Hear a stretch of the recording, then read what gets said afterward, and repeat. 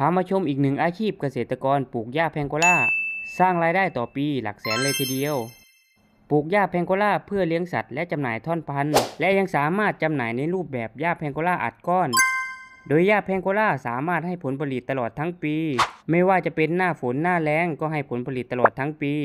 โดยหญ้าแพงโกล่าปลูกครั้งเดียวสามารถอยู่ได้เป็น 10 ปี นี่ก็คือผลดีที่เราไม่ต้องปลูกหญ้าซ้ำๆในทุกปี ซื้อเมล็ดพันธุ์หญ้ามาปลูกทุกปี โดยการจำหน่ายหญ้าสดแพงโกล่าอยู่ที่กิโลละ 5 บาท ในส่วนของการอัดก้อนจะอยู่ที่ราคา 100ถึง120 บาทต่อก้อนครับ วัวควายแพะแกะ สัตว์กินพืช สัตว์เคี้ยวเอื้อง สามารถกินหญ้าแพงโกล่าได้เลย โดยไม่ต้องบดสับ เมื่อหญ้าชนิดอื่น อายุเกิน 2 เดือนสัตว์เลี้ยงของเราก็ไม่สามารถกินได้ครับ เราต้องทำการบดสับ เสียเวลาเสียต้นทุน แต่ถ้าเป็นหญ้าแพงโกล่าอายุ 2 ปี สัตว์เลี้ยงของเราก็สามารถกินได้โดยไม่ต้องบดสับครับ